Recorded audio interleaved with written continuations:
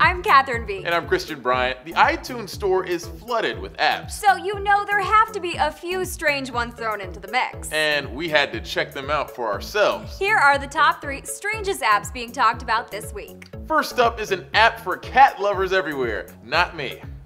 or for people who are just trying really, really hard to impress a cat lover. It's called Cat Facts Extreme. And it provides the user with hundreds of facts all about felines. Time called it one of the most brilliantly inane apps ever created. Here, here. So, of course, we had to download it and see for ourselves. Here's fact number one a cat uses its whiskers for measuring distances.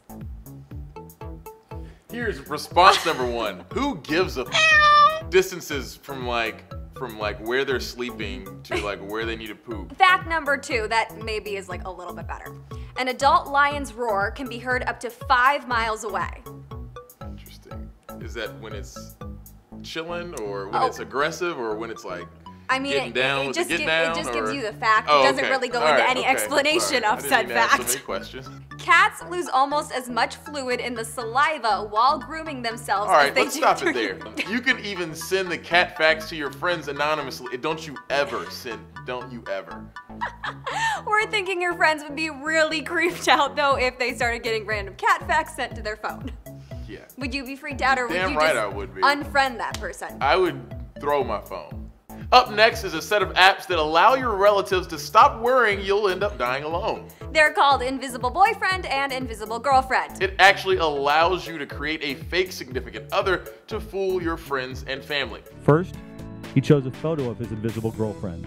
Next, he picked her personality. And then he created a story of how the two of them met. Okay, you are catfishing your parents. That's funny.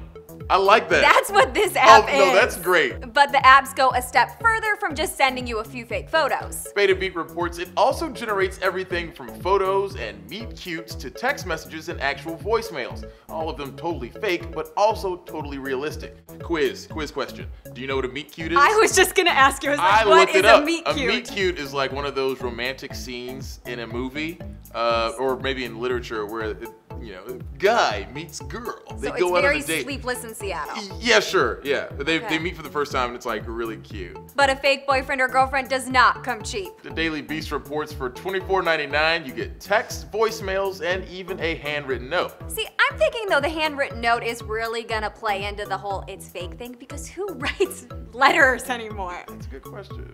I think my parents would question if I'm like, look, my boyfriend wrote me a letter. Are you dating somebody from the 60s? That's what they're gonna say.